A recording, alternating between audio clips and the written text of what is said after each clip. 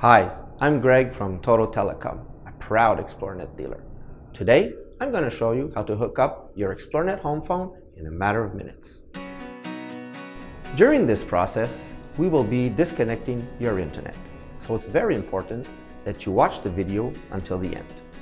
And for your convenience, take a look at the easy setup guide below. In this video, we're going to connect your wireless router and home phone to the XplorNet hub. If you don't use a router, you'll connect your computer and modem to the XplorNet Hub instead. Here's what comes in the box with your XplorNet Hub. The XplorNet Hub unit, a power cable, two yellow network cables, and one gray cable. Step 1. Connecting to the XplorNet modem. To get started, if you use a router, disconnect that from the modem. If you don't use a router, disconnect your laptop or computer from the modem. Your modem will look like either a brick-shaped power adapter or an upright book. Here is what the 4G satellite and LTE modems look like. Your modem could look slightly different depending on which type of XplorNet internet connection you have. Using one of the yellow cables, plug one end into the LAN port on the modem and the other into the WAN port on the XplorNet hub.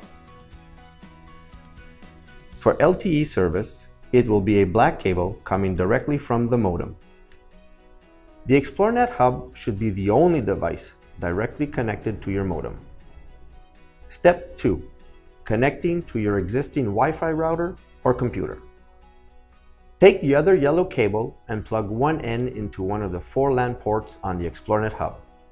If you are using Wi-Fi or wireless internet, then connect the other end to the WAN port on your wireless router. If not using wireless, connect it directly to your laptop or desktop computer. Step 3. Connecting to your telephone. Connect the hub to your telephone using the gray cable. Plug one end of the gray cable to the hub phone port and the other end into your telephone.